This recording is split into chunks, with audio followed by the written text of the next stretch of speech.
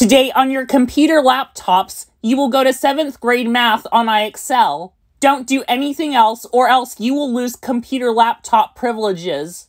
Forget IXL. I will go to 123 Movies to download Sausage Party for free, and then I can watch it whenever I want to on this laptop.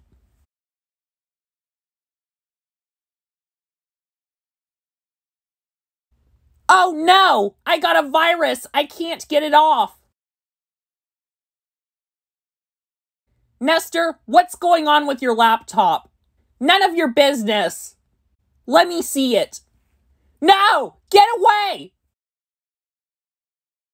Nestor! How dare you are downloading a movie off the internet for free? That is illegal!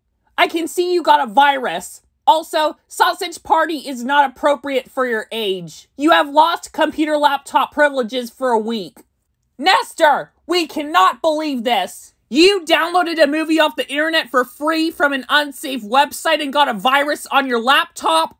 That is big time illegal. Your dad is right, and you're grounded for 14 weeks with no computer privileges.